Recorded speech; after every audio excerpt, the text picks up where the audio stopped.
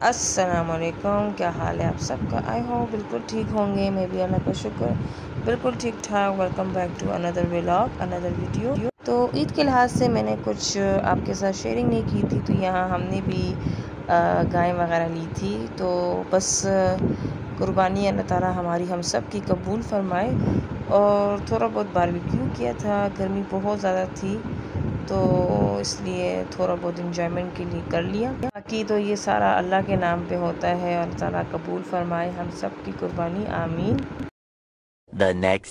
تو یہ اگلے دن کا ولاگ تھا اور ہم جا رہے تھے ایپٹاباد وہ بھی فیملی کے ساتھ۔ تو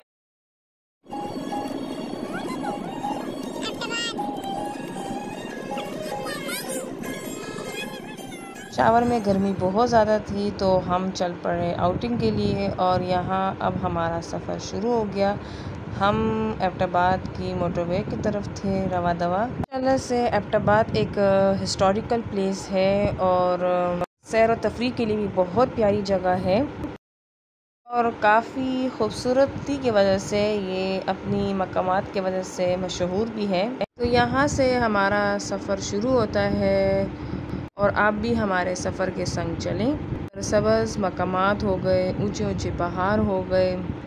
خوشبو سے بھرے ہوئے پیارے سے پھول اور اتنی ماشاءاللہ سے صفائی کہ بس مزہ آ گیا۔ اور شام کے وقت تو ایپٹاباد کی جو روشنیاں ہیں، اس کا الگ ہی مزہ ہے۔ تو مجھے تو بہت اچھا لگا اور ماشاءاللہ سے آپ دیکھیں، سامنے سے اتنے خوبصورت بادل لگ رہے ہیں اور بہت ہی کہتے ہیں نا، ایک خوبصورت نظارہ لگ رہا ہے۔ تو گرمی میں بھی اتنا خوشگوار موسم۔ گاڑی میں باقی فیملی بھی تھی، تو شور کی وجہ سے میں نے وائس کرنا زیادہ بہتر سمجھا۔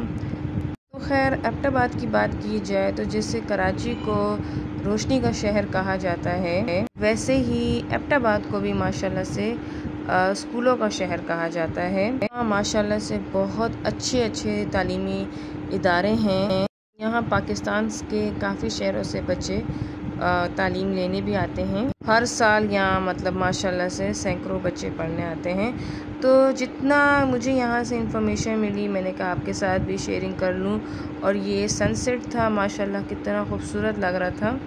تو اب اس کی سیر و تفریح کے بارے میں بات کی جائے تو وہ تو میں کافی کر چکی ہوں۔ لیکن جیسے جیسے ان کے شہر کے بارے میں سنا ہے تو ان کے گاؤں کے بارے میں بھی یہی سنا ہے کہ بہت زیادہ صاف اور خوبصورت ہے۔ ماشاءاللہ سے چار چوٹی پہاڑیوں میں یہ مشتمل ہے اور ایسا لگ رہا ہے کہ ہم ان پہاڑوں کے کتنے قریب قریب ہیں۔ اور ماشاءاللہ سے نیچرل بیوٹی ہے۔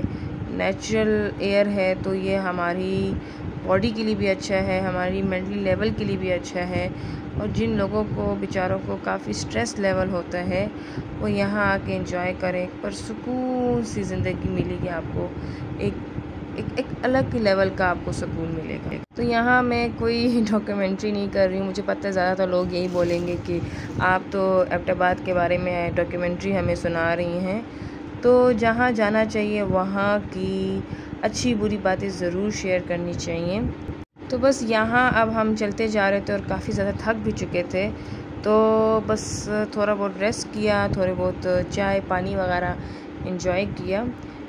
ریسٹ روم وغیرہ گئے کیونکہ کافی دیر سے ہم چار پانچ گھنٹوں سے سفر میں چل رہے تھے۔ یہاں کسی کارنر میں ہم نے پکوڑے انجوائے کیے ساتھ میں چائے انجوائے کی چٹنی انجوائے کی۔ اور ماشاءاللہ سب کچھ بہت مزے کا تھا۔ تو آئی ہوپ آپ کو میری آج کی یہ ویڈیو اچھی لگی ہو۔ تو مجھے ضرور کمنٹ کرے گا۔ ہمیشہ کی طرح دعا میں یاد رکھیں۔ چینل کو لائک شیئر اور سبسکرائب کر دیں۔ اللہ حافظ۔